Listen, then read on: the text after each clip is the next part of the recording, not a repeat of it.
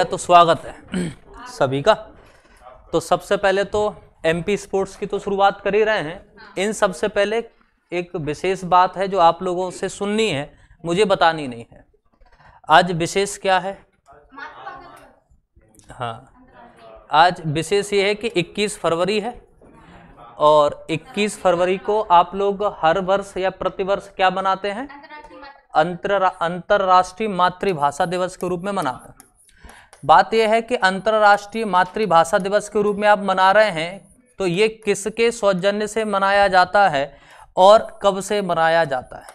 ये आपसे मेरा प्रश्न है। मनाया जाता होगा? हाँ ये बात सही है कि ये जो प्रेरित है, कहीं ना कहीं वो बांग्लादेशियों, पहले तो नहीं था, लेकिन पहले पूर्वी पाकिस्तान हम लोग कहा करते थे या ऐसा कह रहे आज के बांग्लादेश के बलिदान के वजह से हम लोग मातृभाषा दिवस के रूप में इसको मनाते हैं, इक्कीस फरवरी को। तो इसके पीछे मनाने के लिए जो सौजन्य अपन बात कर रहे हैं, किसके द्वारा है तो आप बताएँगे कि यूएन के द्वारा अप्रूव्ड किया गया है या सहमति दी गई है। 1999 में इसमें कहा गया कि हम प्रतिवर्ष 21 फरवरी को क्या मनाएँगे, मातृभाषा दिवस के रूप में मनाएँगे, लेकिन 2008 से आप लोग इसे वैधानिक तरीके से मना रहे हैं। ठीक है? बात यह है कि दुनिया में बहुत सारी भाषाएँ हैं, ये तो हम जानते हैं। अपने देश में भी बहुत सारी भाषाएँ बोली जाती हैं, है ना? और भाषाओं के अलावा बोली पढ़ते हैं, हम उपभाषा पढ़ते हैं और मातृभाषा पढ़ते हैं। ये एक हमारी ऐसी पहचान है, ऐसी संस्कृति है कि जिस व्यक्ति ने अपनी मातृभाषा को छोड़ दिया, समझिएगा, उसने अपने संस्कार को छोड़ दिया, अपनी संस्कृति को छोड़ दिया। सब कुछ खत्म हो सकता है। मतलब ये हुआ कि उसका खुद का अस्तित्व खत्म हो सकता है कब? जब उसकी मातृभाषा वो अपनी छोड़ चुका है तब। वो बात अलग है, इसलिए मैं हमेशा प्राथमिकता अपनी मातृभाषा को देता हूँ, विषय भी वही पढ़ाता हूँ। अंग्रेज़ी अंग्रेज़ी अपने को वैसे ही पसंद नहीं है। अंग्रेज़ी के साथ ऐसा व्यवहार करता हूँ कि उसको भी मातृभाषा में लिखता हूँ मतलब हिंदी में लिखता हूँ। समझिएगा आप कितना? है ना? चलेगा। तो अब हम यहाँ से शुरुआत कर लेते हैं अपने विषय के बारे में जो हमें चर्चा करनी है। तो मध्य प्रदेश के स्पोर्ट्स की बात की जाएगी तो ये आपके, अब ये समझिएगा कि एग्ज़ाम के हिसाब से बहुत इंपॉर्टेंट चीज़ रहेगी। हो सकता है कि एक से दो प्रश्न आपके परीक्षा में बने। ऐसा हो ही सकता है, अनिवार्य कुछ नहीं है, नहीं सोचो कि दो तीन क्वेश्चन या एक दो क्वेश्चन यहाँ से आएँगे। आने को तो ये कि तीन चार क्वेश्चन भी आ जाए तो कोई बड़ी बात भी नहीं होगी। ठीक है, समझते हैं, बहुत अच्छी अच्छी बातें हैं। तो सबसे पहले हम लोग बात ये करेंगे कि मध्य प्रदेश में जो खेल की शुरुआत है या जो बात की जाए कि ये जो खेलों की हम, ऐसी क्या आवश्यकता आन पड़ी कि हमें खेलों के बारे में भी पढ़ना पड़ रहा है? ऐसी क्या आवश्यकता आन पड़ी कि हमें खेलों के बारे में पढ़ना पड़ रहा है? वही, ये वही खेल हैं जिनमें बचपन में हमारे माता पिता हमें खेलने नहीं देते थे। और अब ये वही खेल है जिनको अब बैठा के पढ़ाया जा रहा है। ऐसा इन विगत समय में क्या हुआ कि ये नौबत आ गई कि हमको पढ़ना पड़ रहा है? क्या? अच्छा। बताओ। नाम रोशन कर रहे हैं बच्चे। अच्छा। हाँ सही है, ये ठीक है। कि आप शारीरिक रूप से और मानसिक रूप से स्वस्थ रहें, फिट रहें, इसलिए कहा जा रहा है कि आप खेलों की तरफ़ रुझान बढ़ाएँ। एक अच्छी सी बात बताएँ, जीके की बात है, जनरल नॉलेज की बात है, कि आपके मामा श्री ने क्या किया है? मतलब आपके प्रदेश के मुख्यमंत्री शिवराज सिंह चौहान साहब ने क्या किया है? तो शिवराज सिंह चौहान साहब ने यह किया है कि मध्य प्रदेश ऐसा पहला, मध्य प्रदेश ऐसा पहला राज्य बना जिसने स्कूलों में एक, जिसने स्कूलों में एक क्लास अनिवार्य कर दी कि वो क्लास किस रूप में रहेगी? स्पोर्ट्स के रूप में रहेगी। ये बात याद रखेंगे। ये आपकी 2008 के आसपास से हुआ है। उस समय आपके साथ शिवराज सिंह ही सीएम थे थे क्या हैं? मतलब थे उस समय। तो आप याद रखेंगे कि मध्य प्रदेश ऐसा पहला राज्य बना। अच्छा ऐसे तो अच्छी बात है कि आपका राज्य ऐसे कई आंकड़ों में पहली बार रहेगा कि कई सारे काम आपने पहली पहली बार किए हैं। ये बात हम यहाँ से याद रखेंगे। तो कभी ऐसा प्रश्न पूछ ले, है तो सिंपल, क्योंकि मैं तो ये कहता हूँ, साहब, एक क्लास क्यों? आप कभी सरकारी स्कूल में चक्कर लगे तो जाइएगा। जो मतलब मोस्ट ऑफ़ अच्छे टाउन में नहीं है, थोड़े से रूरल एरिया में, ग्रामीण क्षेत्र में है, वहाँ पे दोनों खेल रहे हैं। टीचर भी खेल रहे हैं और बच्चे भी खेल रहे हैं। अच्छा। तो मतलब कहीं ना कहीं सभी लोग व्यस्त हैं। तो शिवराज सिंह चौहान साहब ने, मुख्यमंत्री साहब ने ऐसा तो नहीं कहा था कि सभी लोग खेलेंगे। ये कहा अच्छा इसीलिए यहाँ पे आप देखेंगे कि आपने सुना हो, जैसे फ़िज़िकल एजुकेशन वगैरह में, अब हर एक टीचर को यहाँ पे अपॉइंट किया किया जाता है तो वो बच्चों को कहीं ना कहीं खेल के प्रति उनका रुझान बढ़े। बच्चे जाने बचपन से, जैसे मान लो हम लोग आज पढ़ रहे हैं, और यही सारी चीज़ें यदि हमें पहले पढ़ाई गई होती तो हमें पढ़ने की आज आवश्यकता नहीं होती। हम तो बड़े एहसानमंद हैं उन पुरानी व्यवस्थाओं के। क्यों? क्योंकि हम जिसे हम पढ़ा पा रहे हैं, यदि आप पढ़ पढ़ा के आते तो फिर मैं क्या करता? मेरा रोज़गार चला जाता ना। हाँ हम तो चलेगा तो देखते हैं यहाँ से। तो आप याद रखेंगे, मध्य प्रदेश ऐसा पहला मध्य प्रदेश आपका पहला ऐसा राज्य बना जो क्या कर रहा है? खेलों के लिए उसने स्कूलों में एक अनिवार्य समय बना दिया, पीरियड बना दिया कि एक कक्षा ज़रूर स्पोर्ट्स की लगेगी लगेगी। है ना? चलिएगा तो हम लोग यहाँ से सीधे सीधे शुरू करते हैं। मध्य प्रदेश में जो आधुनिक खेलों की शुरुआत हो रही है, वो कब से या किस व्यक्ति के, किस व्यक्ति की देन मानी जाती है? तो ये तो हमें पता है कि जब मध्य प्रदेश में खेलों की शुरुआत होगी या भारत में किसी भी खेल की शुरुआत होगी, जब कहीं पर भी किसी भी खेल की शुरुआत होती तो एक ही व्यक्ति को आप, या एक संस्था या एक ऑर्गेनाइजेशन को आप क्या दे सकते हैं, क्रेडिट दे सकते हैं, वो है ये। मतलब इनकी देन है। ठीक रहा। चलो ये आए कि हालाँकि ऐसा नहीं कि इनके द्वारा ही हमको खेलों के बारे में जानकारी दी गई, ऐसी बात नहीं है। हमने बल्कि इनको कई सारे खेल सिखाए हैं, है ना? लेकिन बस ये कि ये थोड़े से क्या है कि साफ़ दिमाग के थे उस समय तो कई सारी चीज़ों पे इन्होंने नहीं, कहते कॉपीराइट जैसी बात है कि इन्होंने वो सारी चीज़ें अपने नाम से नए सिरे से शुरू कर दी। तो अब देखेंगे कि भारत में आपने कई सारी चीज़ें पढ़ी हैं कि भारत में कई सारे खेलों की शुरुआत इनके द्वारा व्यवस्थित तरीके से करवाई जाती है। तो हम देखते हैं कि आपके मध्य प्रदेश में जो खेल कूद का, यानी कि जो खेलों का प्रारंभ होता है, वो क्रेडिट हम किसको देते हैं? अंग्रेज़ों को देते हैं।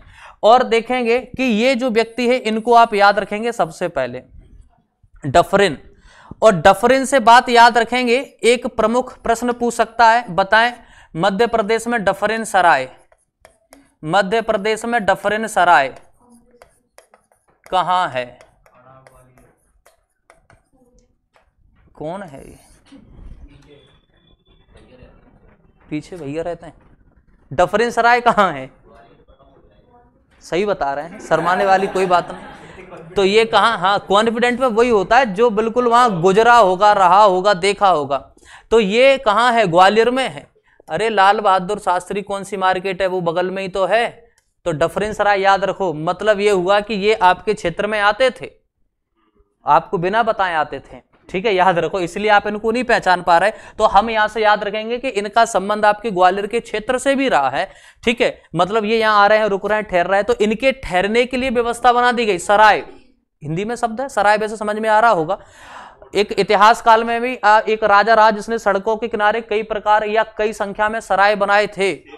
शेर शाह सूर्य ने हाँ तो ये वही सराय मतलब रुकने या ठहरने का स्थान, जहाँ पे आपके ये डफरिन साहब ठहरा करते थे। एक और क्वेश्चन है, कुछ सेंसस या जनगणना से लेकर के कुछ है क्या? इंसुलेटेड मेयो और आपके रिपन, है ना? कांग्रेस के संस्थापक, उस समय यही थे?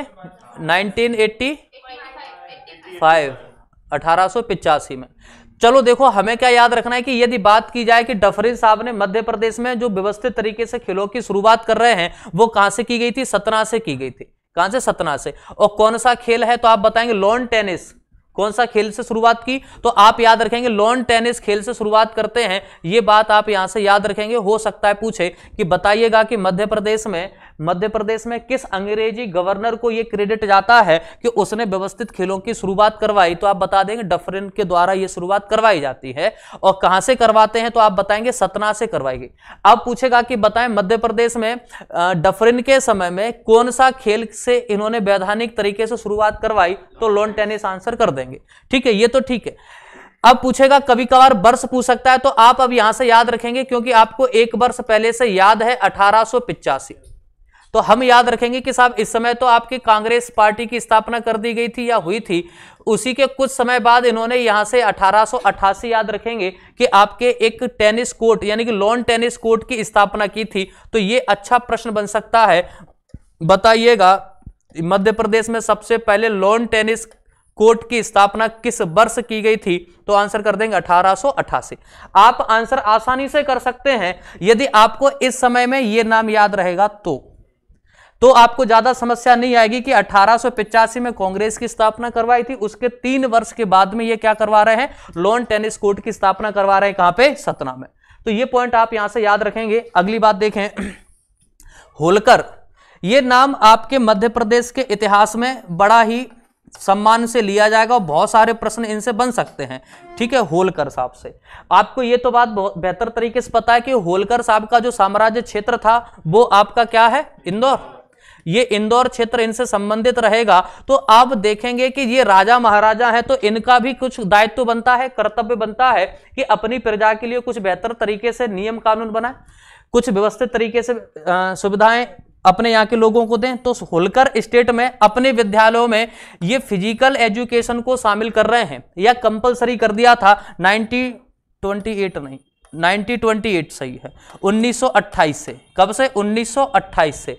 अब देखो, पहला प्रश्न आएगा कि जो आपके शिवराज सिंह चौहान ने आज किया है जो काम शिवराज सिंह चौहान ने आज किया है, माने 2008 लगभग 100 वर्ष के अंतराल है, थोड़ा बहुत अंतर रहेगा तो वो काम 1928 में हम लोग पहले ही कर चुके थे, और किस राजा या किस राजवंश के समय में किया गया था तो होलकर राजवंश आप याद रखेंगे। इनके द्वारा किया गया था कि स्कूलों में फ़िज़िकल एजुकेशन को क्या कर दिया था?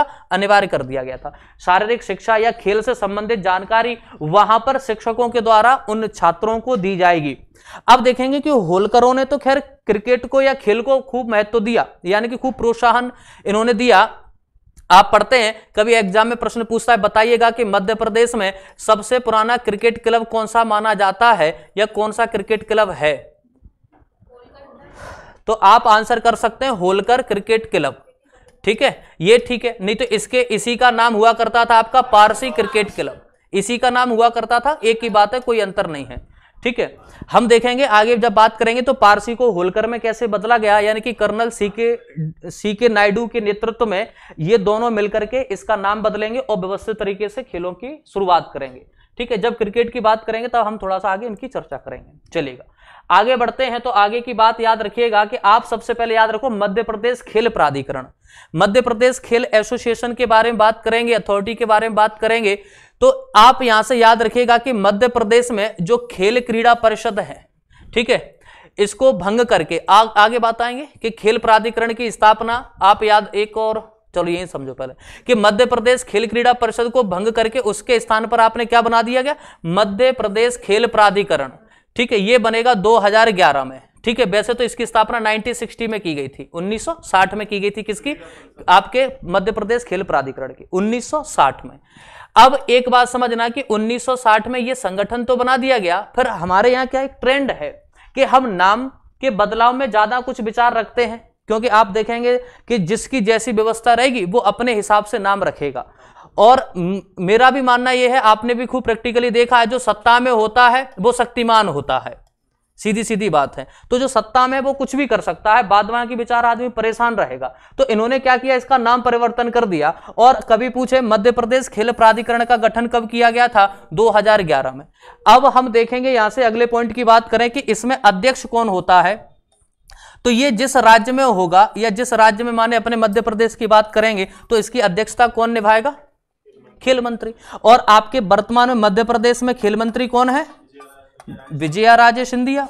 कौन है? विजया राजे सिंधिया जी हैं। ठीक है, इनके अलावा सलाह सहायता के लिए आठ अन्य सदस्य होते ये बात हमें याद रखनी नहीं है। ठीक। विजया, यशोधरा तो राजस्थान से संबंधित है, सीएम रह चुके तो अच्छा मैंने यशो, विजया राजे लिख दिया। सही है विजय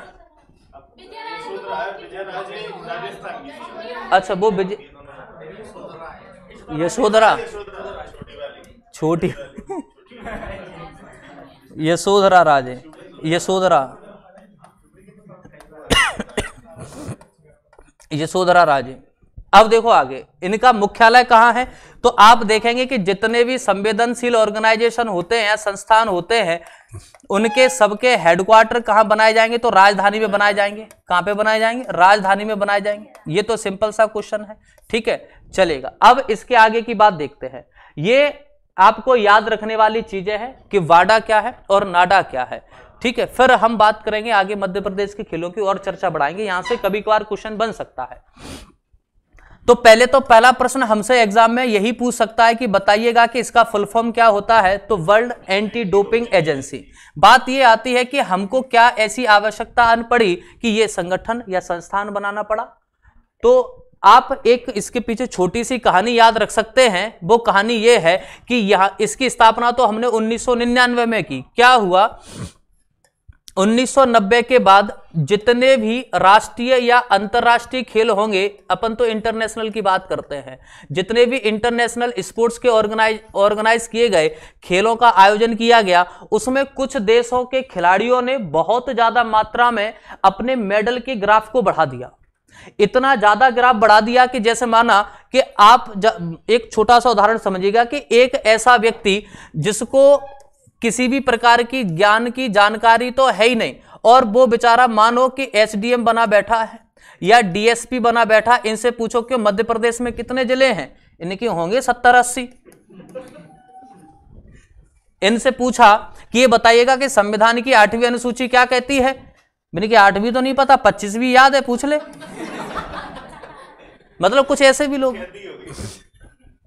अब ऐसे व्यक्ति को आपने क्या कर दिया कि हमने डायरेक्ट सेलेक्ट करा दिया पीएससी से और आपने उसको सेकंड ग्रेड का अधिकारी बना दिया? तो कहीं ना कहीं ऐसे तो व्यक्ति नज़र में आएँगे ना तो अब या तो ऐसा हो कि चलो मेरे जैसा आदमी थोड़ा बहुत पढ़ा लिखा है और आपके जैसे बहुत ज़्यादा पढ़े लिखे हैं, आप जैसे बन जाए तो कोई टेंशन नहीं है। आदमी समझ जाएगा, मेहनत करके आया है और मेरा जैसा समझ जाए कि हो सकता है घिस घुसा के एक उम्र भी हो चली धीरे धीरे करके लग गया होगा गलती से, है ना? दूसरी बात समझिएगा, दूसरी बात समझिएगा, यही हुआ आपके रूस के साथ में, रसिया के साथ में, यही हुआ यूएसए के साथ में, तमाम देशों का एक मेडल ग्राफ बड़ी तेज़ी से बढ़ रहा। और वो लोग भी मेडल ला रहे जो कभी मतलब अच्छा प्रदर्शन नहीं करते थे। तो अब कई स्पोर्ट्स ऑर्गेनाइजेशन जो इनके मदद में काम करती थी, उनने सोचा, ये बताओ, ये लोग कैसे सिलेक्ट कैसे हो गए? इनकी जाँच की जाए। तो जाँच की की गई तो इनके शरीर में कुछ ऐसे उत्तेजक पदार्थ मिले कि जो कैसा भी सिंगल प्लाई आदमी मरा मराया कैसा भी हो, उसको जरा वो नहीं कहते कि वो घुट्टी पिला दो, बेचारा आदमी शक्तिमान बन जाए। हाँ तो अब ऐसी परिस्थिति में उन सब लोगों की जाँच की गई तो उनके रक्त में कुछ विशेष तथ्य या फैक्ट पाए गए जिसको अभी वो जानकारी में नहीं थे। अब उन सब की के बारे में थोड़ी सी जानकारी जुटाई गई, देखा गया, ये लोग तो कुछ ड्रग्स वगैरह का उपयोग कर रहे हैं। या कुछ ऐसे नशीले पदार्थों का सेवन कर रहे हैं जो उस समय इनके शरीर को बहुत ही ज़्यादा मात्रा में क्या कर देते हैं? उत्तेजित कर देते हैं, जिससे ये लोग क्या कर रहे हैं? अपने खेल में बेहतर प्रदर्शन कर रहे हैं। ये लगभग मानिएगा दस साल तक ये सिस्टम चलता रहा, उसके बाद नींद खुली। अच्छा एकदम से तो नहीं जानकारी होती। अपन सोच रहे हैं मेहनत कर रहा होगा। लेकिन अब पता चला कि सब लोग ऐसे ही बनते जा रहे हैं, ऐसे ही बनते जा रहे हैं, तब जाकर के खुल के सामने आता है व्यापम घोटाला। तब पता चलता है अच्छा ऐसे भी घोटाले होते हमें पता ही नहीं था। हम तो सोच रहे थे कि साहब पेपर ही इतना कठिन आ रहा है कट ऑफ़ ही इतना ज़्यादा जा रहा है। ठीक है तो अब ऐसी परिस्थिति में अब यहाँ पे क्या किया गया, एक ऑर्गेनाइजेशन बनाया जाएगा, एक संस्थान बनाया गया, जिसको काम दिया गया कि आपका यह काम रहेगा निगरानी करने का, जाँच करने का कि कौन सा प्लेयर कौन सा खिलाड़ी यदि ईमानदार अच्छा अब इसमें घाटा या परेशानी उन लोगों को है, जो बेचारे ईमानदारी से कई वर्षों से मेहनत कर रहे हैं। इन्होंने तो बढ़िया एस्ट्रॉइड्स या जो भी चीज़ें ली, और बढ़िया एकदम दौड़ते हुए चले गए। आपने जैसे ऐड देखा होगा ना रेड बुल कई सारी चीज़ों का ऐड आता है, और होता कुछ नहीं है। मैंने सोचा शायद वास्तव में कुछ असर होता हो। और क्या? ऐसा ही का फ़िज़िकल देने गए थे मैं, देने गया था मैं तो मैंने सोचा शायद कुछ कारगर सिद्ध हो। एक दो से नहीं, मैंने कहा इकट्ठी ले लो, तीन चार लगे कि साहब, क्योंकि मेरी ग्राउंड में कभी दो, क्या नाम है, तीन मिनट के आसपास आती थी। तो मैंने कहा, शायद हो सकता है कि अपन पाँच छः इकट्ठी पी पा के और शायद निकल जाए तो निकले जाए। लेकिन मुझे लगा उस दिन मेरी तीन आठ में निकली थी। तो ऐसी ऐसी परिस्थिति में कुछ नहीं होता। मुझे तो कुछ लगा ही नहीं। बस वो क्या सारी चीज़ें दिमाग मेंटलिटी का काम है पूरा। उसका पूरा अच्छा उसमें इन सब कामों में मेंटलिटी का काम है, बस और कुछ नहीं कि आपको ऐसा लग रहा है कि हमने बहुत पढ़ लिया है, इस बार पेपर अच्छा जाएगा तो वास्तव में पेपर अच्छा जाएगा, कोई दोहराए वाली बात नहीं। अब ऐसा नहीं कि पढ़ी नहीं है तो पेपर आ रहे, हमें सब आता है। ठीक है ऐसा नहीं। क्योंकि हमने मेहनत की है तो कॉन्फिडेंस अपने आप विकसित हो जाता है। तो आप याद रखेंगे इस ऑर्गेनाइजेशन की स्थापना कभी प्रश्न पूछता है किस वर्ष की गई थी तो आपको आसानी से याद रख, रख याद याद रख लेंगे कि 1999 में। कैसे याद रखेंगे कि स्पोर्ट्स के क्षेत्र में कोई 19 वर्ष का बालक खेलेगा या कोई प्लेयर खेलेगा वो मेडल जीतेगा इसमें दोहराए वाली बात नहीं है क्योंकि उसमें वो काबिलियत है वो क्षमता है कि वो मेडल ला सकता है। लेकिन पता चले कि साहब निन्यानवे साल का भी आदमी मेडल ला रहा है और वो भी गोल्ड ला रहा है तो तो संदेह होगा। तो तो संदेह होगा। अब याद रखेंगे कि उन्नीस साल का ले आ रहा है, कोई दिक्कत नहीं। निन्यानवे साल पे संदेह उठेगा, तब हमने ये बाडा जैसा ऑर्गेनाइजेशन बनाया, संगठन बनाया, इनकी जाँच करने के लिए साहब, तुम में ऐसी कौन सी ताकत आ गई? आपके पास ऐसी कौन सी शक्ति आ गई कि आप गोल्ड मेडल ला रहे हो, तब इनकी जाँच की जाएगी और इनकी जाँच की जाएगी ब्लड से, यूरिन से, अन्य तरीके से की जाती है। कभी पूछता है हेडक्वार्टर बता दीजिएगा आप इनका। तो आप इनका हेडक्वार्टर बताएँगे कनाडा, मॉन्ट्रियल। और ये किस इंडस्ट्री के लिए फ़ेमस है? किस उद्योग के लिए फ़ेमस है? किसके लिए? ऑटोमोबाइल कागज़ के लिए फ़ेमस है। और यहाँ के जो प्रेसिडेंट या अध्यक्ष रहेंगे, उनका नाम है विटोल्ड बांका। ये कुछ भी बांका नहीं छोड़ते, पुराना हिसाब किताब भी क्लियर कर लेते, कितने साल पहले आपने किसी भी प्रकार के मादक पदार्थों का प्रयोग किया था। ये पूरा हिसाब किताब क्लियर रखते हैं। तो ये बात भी आप याद रखेंगे। यहाँ के वर्तमान में चेयरमैन या अध्यक्ष कौन है? तो आंसर कर, कर देंगे आप बिटोल्ड बांका। तो आपसे जो क्वेश्चन पूछेगा वो पहला हो सकता है कि फुल फॉर्म से पूछ ले। वैसे नहीं पूछेगा इतना सरल है। लेकिन इसकी स्थापना वर्ष पूछ सकता है। हमसे इसका हेडक्वार्टर पूछ सकता है। ये बात आप याद रखेंगे। कनाडा मॉन्ट्रियल शहर याद रखो और उन्नीस सौ निन्यानवे याद रखो। और इसके अध्यक्ष का नाम है बिटोल्ड बांका। टोल्ड माने पुराना और पुराना हिसाब किताब बांका नहीं छोड़ते हैं। ये इसका वादा का काम है। ये वादा रहा। क्या वादा रहा? कि टोल्ड माने जो पुराना है, उसको हम किसी प्रकार का कोई भी हिसाब किताब बांकी नहीं छोड़ेंगे। तो टोल्ड है। कौन से टोल्ड है? विटोल्ड बांका। क्या नाम है? विटोल्ड बांका। ठीक है? अब देखो, ये तो खैर कुछ नहीं, आगे की बात देखो। अब हम बात कर लेते हैं कि इनका जो मुख्य काम क्या है। आपको पता है, ये खेल जगत में ड्रग से उपयोग के विरुद्ध क्या करते हैं? निगरानी करते हैं, जाँच करने का काम करते हैं। ठीक है, खेलों में डोपिंग पर पहला वैश्विक सम्मेलन जो किया गया था, वो उन्नीस सौ निन्यानवे में ही किया गया था। ये संगठन क्या चर्चा कर रहा है कि साहब, खिलाड़ियों में इतनी ज़्यादा ऊर्जा कहाँ से आई? उसका क्या सोर्स है? ठीक है? तब आगे चल करके हम यहाँ पे एक वाडा ऑर्गेनाइजेशन बनाया। तब आगे चल करके एक ऑर्गेनाइजेशन बनाया और 1999 के बाद से ये लगातार क्या कर रहा है? काम कर रहा है। ठीक है? चलेगा। अब आ जाओ अपने पे। जब बात करेंगे इंटरनेशनल लेवल पर पूछता है, वैश्विक स्तर पर पूछता है तो बाडा आंसर कर देंगे। और जब अपने राष्ट्रीय स्तर पर पूछेगा तो नाडा आंसर कर देंगे। आसानी से फुल फॉर्म याद रख लेंगे, नेशनल एंटी डोपिंग एजेंसी। सरलता से याद रह जाएगा, कोई कठिन नहीं है। ठीक है, आप याद रखेंगे, राष्ट्रीय डोपिंग रोधी एजेंसी। क्योंकि अपने देश के लोग क्या कम खिलाड़ी, हमें पता तो चल जाए। क्या स्कीम क्या है? भाई, हमें स्कीम पता चल गई तो बस कोई बात ही नहीं है, फिर देखो। अब पूछेगा, स्थापना कब हुई? तो आप याद रखेंगे 2005 में। अब अंतर समझना, जब पूछेगा बाडा से पूछता है कि बाडा की स्थापना कब हो रही है तो आपने 1999 याद रखा तो भाई भारत आने में थोड़ा बहुत समय लगेगा। हमने 2005 में इसकी शुरुआत कर दी और मैंने आपको बताया है कि जितने भी सेंसिटिव हेडक्वार्टर या संस्थान होंगे, उन सबके हेडक्वार्टर कहाँ? राजधानी में बनाए जाएँगे। तो इसका भी हेडक्वार्टर कहाँ बन जाएगा? आपकी राष्ट्रीय राजधानी नई दिल्ली में बना दिया जाएगा। ठीक है, अब पूछेगा, इसके जो महानिदेशक हैं, आपके डायरेक्टर जनरल जो हैं, वो कौन है? तो महानिदेशक याद रखेंगे, इनका नाम है सिद्धार्थ सिंह लोंगजाम। अब सिद्धार्थ सिंह याद रख सकते हैं या आप और अच्छा तरीके से याद रख सकते हैं। लोंगजाम क्या नाम है? लोंगजाम इनको इस समय महानिदेशक बनाया गया है। ये कौन है? युवा कार्यक्रम और खेल मंत्रालय में ये संयुक्त ज्वाइंट सेक्रेटरी हैं। संयुक्त सचिव के पद पर कार्यरत है। नाम क्या है? तो सिद्धार्थ सिंह लोंगजाम क्या नाम याद रखेंगे? सिद्धार्थ सिंह लोंगजाम ये कहाँ पे कार्यरत है? तो खेल कार्यक्रम और खेल मंत्रालय में ज्वाइंट सेक्रेटरी हैं, संयुक्त सचिव हैं और नाम क्या है? लोंगजाम साहब। तो आपसे क्या क्या क्वेश्चन पूछेगा? दोनों को एक साथ देख लीजिएगा। जब हमसे बाडा की बात की जाएगी तो आप बाडा की स्थापना क्या बता देंगे? उन्नीस ठीक है? अब पूछेगा, ये बाडा की बात होगी जब नाडा की बात करेंगे 2005 ठीक है? फिर पूछेगा, वाडा का हेडक्वार्टर बता दें। कनाडा का मॉन्ट्रियल शहर। और हम नाडा की बात करेंगे तो नई दिल्ली है। फिर पूछेगा कि यहाँ के चेयरमैन अध्यक्ष कौन है? महानिदेशक कौन है? सिद्धार्थ सिंह लोंगजाम। और यहाँ पे कौन है? विटोल्ड वाका। ठीक है आप ये सारी बातें याद रख लो काम बन जाएगा। अब इनके बाद में अभी हाल ही में एक आ, एक डोपिंग रोधी संस्थान या कहें कि एंटी डोपिंग एजेंसी चर्चा में रही।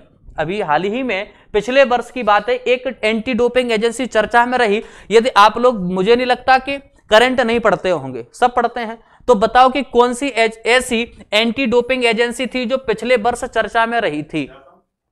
जापान की क्यों? टोक्यो ओलंपिक की वजह से नहीं?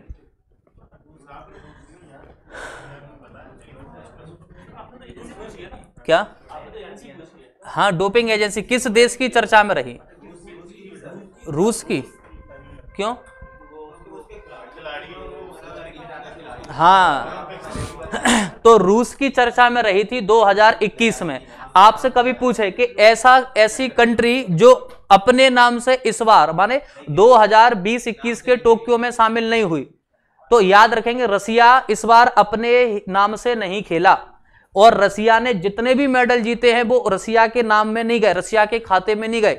तो किसके अकाउंट में गए, किसके खाते में गए? वो गए आर ओ सी के खाते में। वो क्या है? तो आगे समझते हैं। तो रसिया की जो एंटी डोपिंग एजेंसी है, रसिया की जो एंटी डोपिंग एजेंसी है, उसके नाम से रसिया के कुछ खिलाड़ी शामिल हुए थे या पार्टिसिपेट किए थे किसमें ओलंपिक में।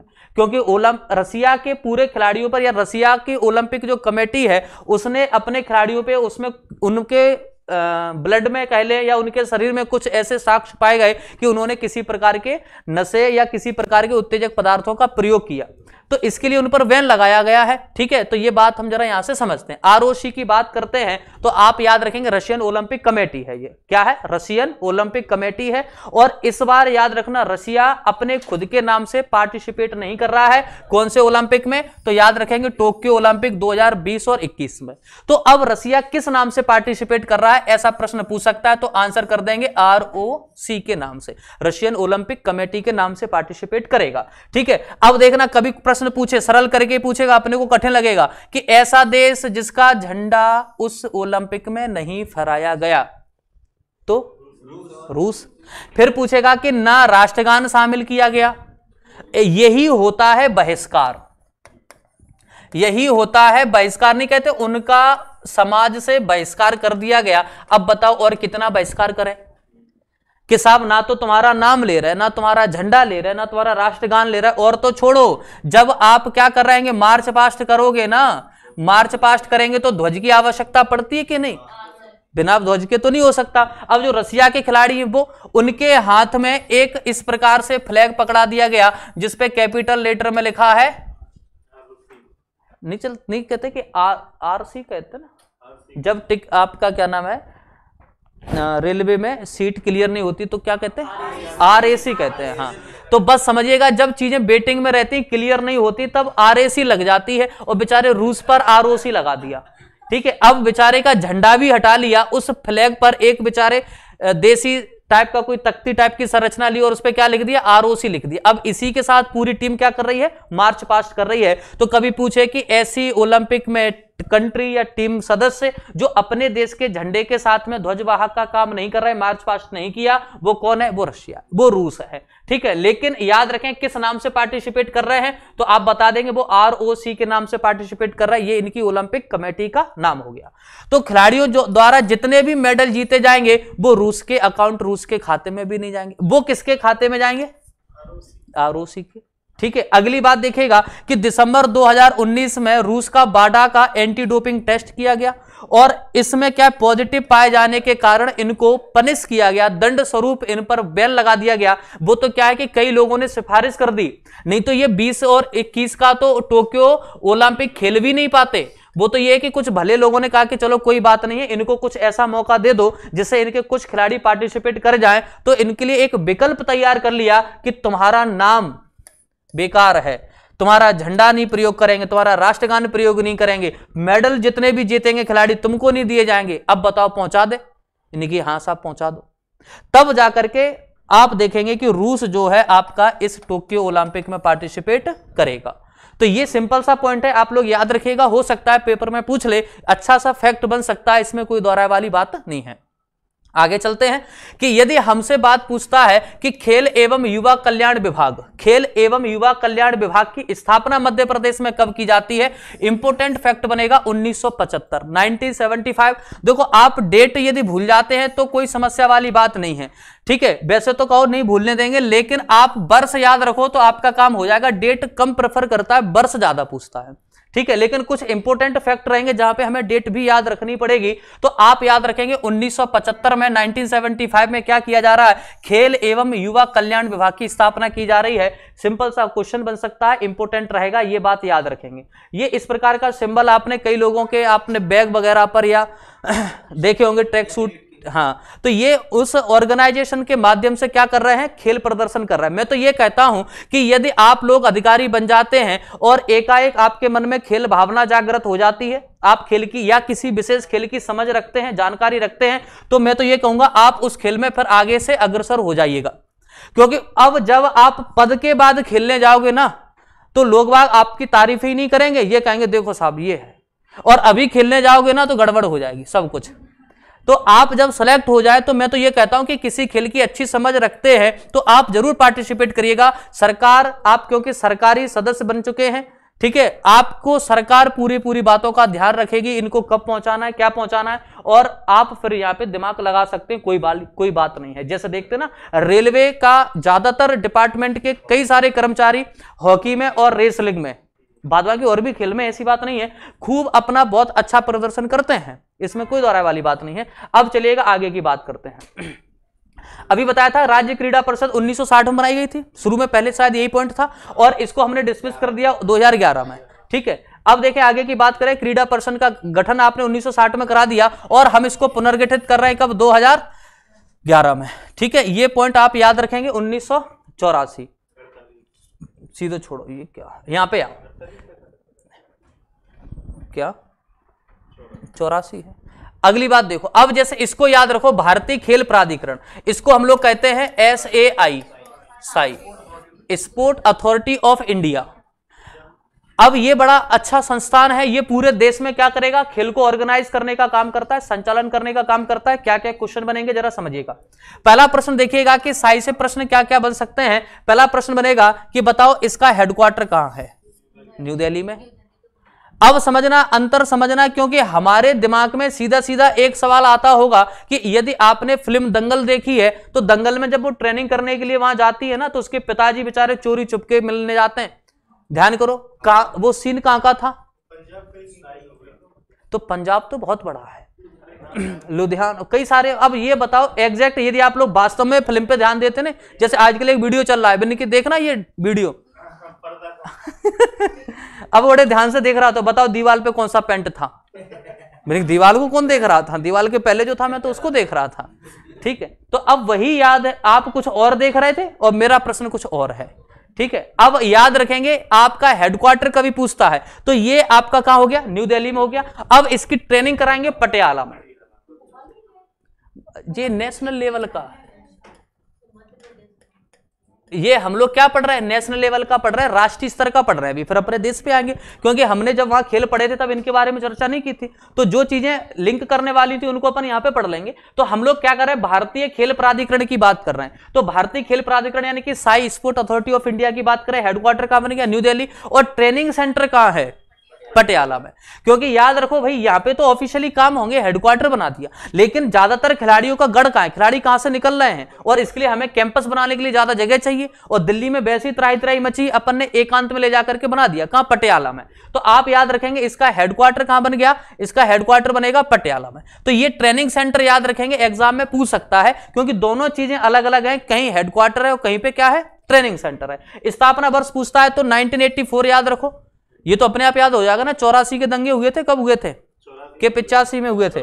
चौरासी में। तो याद रखो साहब कि ये जो ये वो खिलाड़ी है जिस समय हाँ जिस समय आप ट्रेनिंग कर रहे हैं तो आप याद रखेंगे स्थापना और स्थापना मुख्यालय और इनका ट्रेनिंग सेंटर तो आपसे सिंपल सिंपल क्वेश्चन पूछेगा कि बताइएगा साई का हेडक्वार्टर कहाँ है? न्यू दिल्ली में। साई संस्थान अपने खिलाड़ियों की ट्रेनिंग कहाँ कराता है? पटियाला में। और साई की स्थापना कब हो रही है? 1984 में। ये इतनी तीन बातें हमने याद रखी। अब इसके बाद बात कर लेते हैं अपने मध्य प्रदेश की। ये अपने मध्य प्रदेश की बात करेंगे तो ये हो गया आपका मध्य प्रदेश का खेल प्राधिकरण। इसी की एक आप मान सकते हैं कि एक ब्रांच है। रीजनल ब्रांच है, क्षेत्रीय शाखा है। कहाँ पे है? तो आप बताएँगे भोपाल। भोपाल नहीं पूछता। पूछेगा कौन से? गोरेगांव। गाँव भी कौन सा है? गोरेगांव। ठीक है, चलिएगा। तो अब जरा समझना कि यदि हम देखते हैं कि आपके मध्य प्रदेश में जो साई संगठन काम कर रहा है, स्पोर्ट अथॉरिटी ऑफ़ इंडिया बनाया गया है तो इसका हेडक्वार्टर आपने याद रखा कि मध्य प्रदेश के भोपाल में है, राजधानी में है, कहाँ पे गोरेगांव में है? आप गोरेगांव भी याद रखेंगे, पूछेगा। ठीक है? अब लेकिन वैसे ही याद रखना, जैसे अभी आपने नेशनल स्तर का, राष्ट्रीय स्तर का याद रखा है कि उनका हेडक्वार्टर था उनकी राजधानी में, अपना हेडक्वार्टर है अपनी राजधानी में। वो ट्रेनिंग कहीं और करा रहे थे, हम भी ट्रेनिंग कहीं और करा रहे हैं। हम ट्रेनिंग वहाँ कराते हैं, क्योंकि अब जरा समझना ट्रेनिंग से होता क्या है? बताना जरा ट्रेनिंग से होता क्या है? ट्रेनिंग क्यों करा रहे हैं? भैया डायरेक्ट खेलने पहुँचा दो ना। क्योंकि उनको ट्रेंड कैसे कराएँगे? आप आप खिलाड़ियों को क्या बना रहे हैं? धारदार बना रहे हैं। धारदार बना रहे मतलब किसी भी खेल में उतर जाओ, आपका प्रदर्शन कम हो ही नहीं सकता। तो आप याद रखेंगे कि आप मध्य प्रदेश में खिलाड़ियों को कैसा बना रहे हैं? तो आप बताएँगे, धारदार बना रहे हैं तो आंसर अपने आप छप जाएगा। धार में। तो खिलाड़ियों को ट्रेनिंग दिला करके आप क्या कर रहे हैं? उनको धारदार बना रहे हैं। एकदम ऐसा बना रहे हैं कि साहब, जहाँ भी जाएँगे, दमदार तरीके से खेलेंगे तो आप बताएँगे, मध्य प्रदेश का ट्रेनिंग सेंटर कहाँ है? और धार का एक क्षेत्र याद रखो। धार का एक क्षेत्र याद रखो। कौन सा? पीथमपुर। कहाँ है? धार में ही है। और ये इंदौर के समीप है तो आप याद रखेंगे इंदौर के नज़दीक है और शायद इसमें एशिया का सबसे बड़ा कार का ट्रैक सेंटर बनाया गया है। है ना? हाँ तो याद रखेंगे क्योंकि नहीं, फॉर्मूला बन नहीं। टेस्टिंग टेस्टिंग ट्रैक है। हाँ वो यही, इसी के लिए तो बना तो आप याद रखेंगे, कार टेस्टिंग ट्रैक याद रखो। कार टेस्टिंग ट्रैक जो है, सबसे बड़ा आप एशिया का सबसे दूसरा शायद है। दूसरा सबसे बड़ा है। तो वो आपके एमपी में बनाया गया है, याद रखेंगे। और पीथमपुर डेट्रॉइट के नाम से फ़ेमस है। ठीक है, और धार में आप एक और याद रख सकते हैं सिटी ऑफ़ जॉय मांडवगढ़ या मांडव ठीक है, अब चलिएगा आगे की बात करते हैं। यदि हम लोग आगे की चर्चा करते हैं तो मिलेंगे फिर कल, नमस्कार, धन्यवाद। अच्छा कल से ये तो एक सिंपल परिचय था, कल से आपको बहुत आनंद आने वाला है पढ़ने में, ठीक है? तो याद रखिएगा, कल ज़रूर आएँगे, नमस्कार, धन्यवाद। धार।